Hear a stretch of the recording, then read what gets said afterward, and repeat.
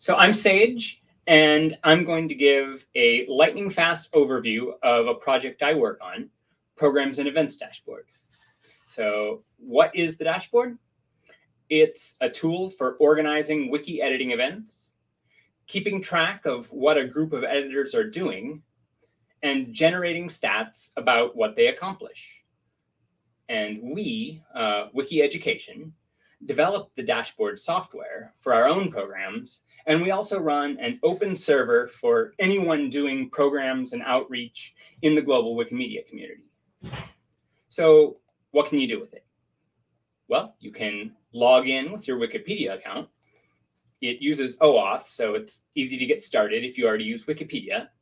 And once you log in, you can create an event, just fill out a few details like the name of the event, who's hosting it, and what wiki to track. And then you can get new users signed up.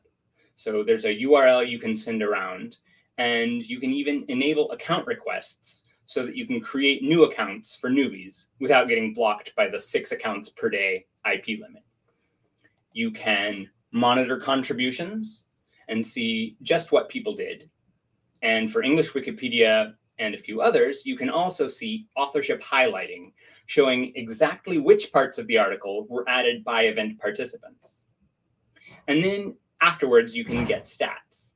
And in addition to some top level totals, you can also download more details in CSV files. And there are extra details for Wikidata if you're editing there. So what do people use it for?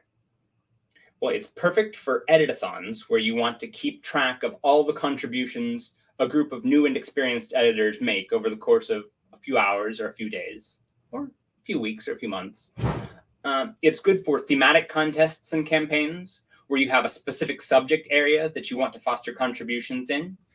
And it works for other Wikimedia projects like Wikibooks and not just uh, Wikipedia. It's also good for education programs, um, both in universities and high schools. And it's flexible enough for a wide variety of uses. It's been used for more than 12,000 programs with nearly 5,000 instructors and program organizers to track programs with more than 150,000 editors across more than 300 wikis. So if this sounds like a tool you, that would be useful to you, uh, check it out or get in touch. And what about OpenStreetMap? Well, the dashboard doesn't currently connect with OpenStreetMap, but it's open source software, and I bet there's potential. If anyone from OSM is interested in exploring the possibility, uh, please contact me.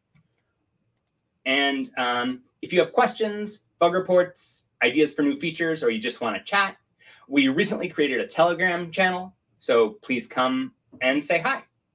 And thank you.